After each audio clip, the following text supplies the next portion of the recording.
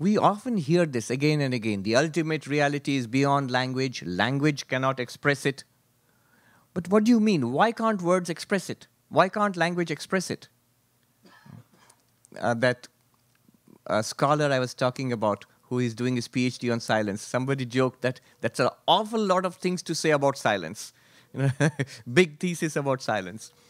Avyapadeshyam. Why do you keep saying that the ultimate reality is beyond language? Uh, why cannot words express it? And remember, you are using words to express it. After all, all of this is words. The Upanishad is words. So this has to be understood. Shankaracharya, he explains it beautifully in his commentary. Why is this ultimate reality, the fourth, Brahman, the ultimate reality of this universe, why is it beyond language? What can language do? Shankaracharya he uh, asks there, how does language work?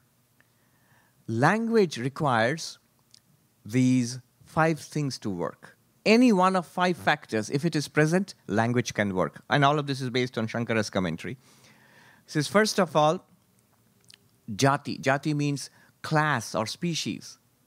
So if an object belongs to a set or a class, then you can use that to refer to that language, uh, uh, to, to, that object. You can use language. So example he gives is um, cow. So this animal is a cow because there's a set of animals called cows, and this this animal shares those characteristics. You can put it in that set and use the name to indicate this object. So a car, anything that is a part of a set, a boat. It could be a small boat, it could be a huge cruise ship but you can call them all boats because they belong to a set of boats. So, can you talk about Brahman like that? No, because there is no class of ultimate realities. There's only one.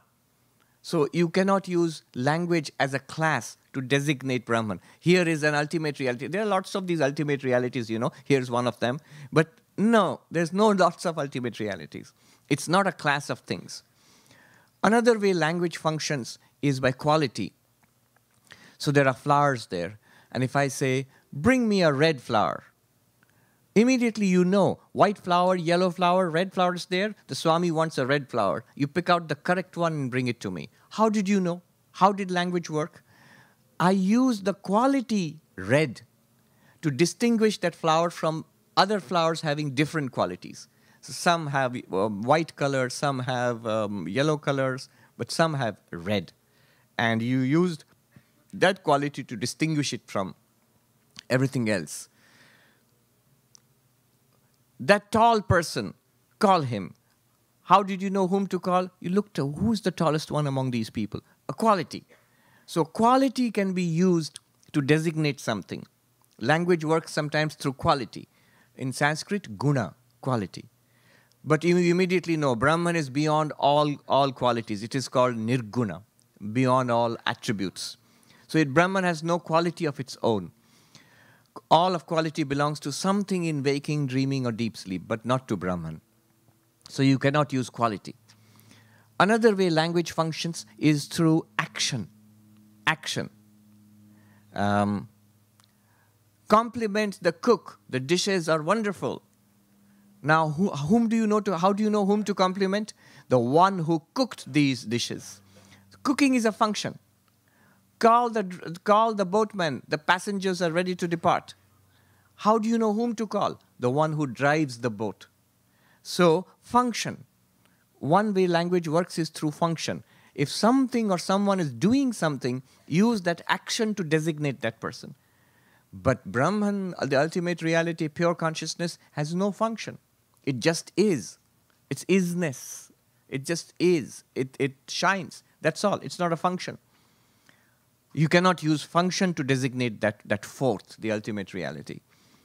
Um, then there is another way language functions is, uh, look, language functions. There's another way that language functions is relationship, sambandha. The guru. The guru is a guru only when there is a student. Without any students, you can't call the guru, the, the teacher, a teacher. Father. The father is a father only if there's a son or daughter. So there's a relationship, and relationship requires two. You can use, use language through relationship. But relationship requires at least two terms. There cannot be two terms because the ultimate reality is non dual, without two. So, therefore, you cannot say language, you can use relationships to in- indicate um, Brahman or Turiya. It has no relation with anything else. Why? Because nothing else exists. How can it have a relationship? It's like saying the screen. What relationship does it have with the character of the movies? Nothing really. They don't exist. Only the screen exists. But the other way is not true. The mo- characters in the movie, the movie itself, depends on the screen. The world entirely depends on Brahman. But Brahman does not depend on the world. Brahman has no relationship with the world. The classic example of snake and rope. So, you know the example? By mistake, sometimes a rope is taken to be or mistaken to be a snake. In the darkness, maybe you see something, oh, it's a snake. Sometimes the opposite happens. So you have to be careful. Say, oh, it's a rope. It must be a rope. The Swami keeps talking about rope and snake. What did he say? The snake is actually a rope. Okay. But sometimes it turns out to be a snake. Whatever it is, a mistake is made. What it is not, you take it to be that. So it's not a snake, but you take it to be a snake. It's a rope. Now, between the real rope and the imaginary snake, what relationship is there? If you catch hold of the rope and put him uh, and, and interrogate the rope, hey, you, what's your relationship with that nasty snake? And the rope will say, What snake? It's your problem.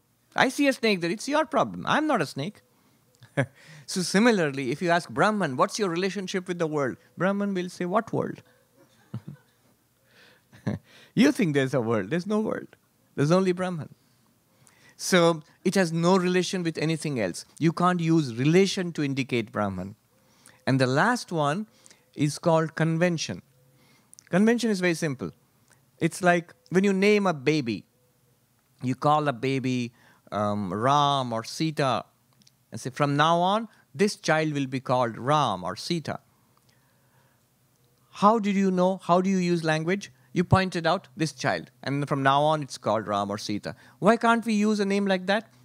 After all, you're using names. You're saying Brahman, Atman, whatever, the ultimate reality, the absolute pure consciousness. You're using so many names, Swami. But is it does it work like that? If you how does this naming, this convention work? You must point out the person. This person is Ram.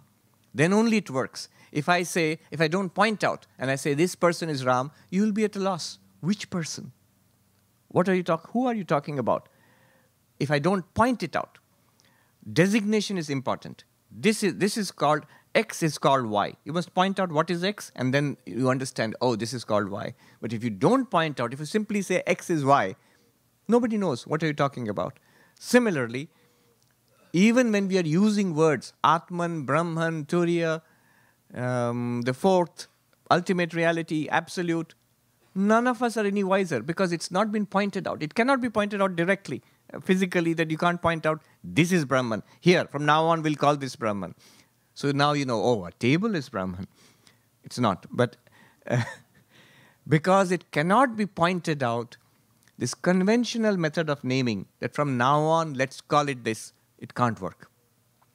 The five ways in which language works do not apply to Brahman. The ultimate reality, the five ways do not apply. Jati, uh, class or species, won't work because Brahman is, uh, there's no class of Brahman. Um, guna, quality, won't work because Brahman has, has no qualities, nirguna. Action, kriya, uh, won't work because there's no action in the absolute reality. There's no change. Um, sambandha, relationship, won't work because Brahman is non dual. There's no second thing, it has no relation with anything else. And then, last one, conventional method in Sanskrit, it's called Rudi. Um, conventionally, can you name it? No, you cannot name it because you cannot point it out. Uh, you cannot separate it from everything else and say, this thing is. If you try to point it out, what happens? It's like that father trying to point out the um, screen in the movie. You'll immediately mistake a picture from the screen. So none of these work. That's why it is beyond language. And all of this explanation which I gave to you now, the philosophy of language and why it will not work, why you cannot indicate the ultimate reality through language, All of this Shankaracharya says in half a phrase. Shabda pravritti nimitta rahitatvat.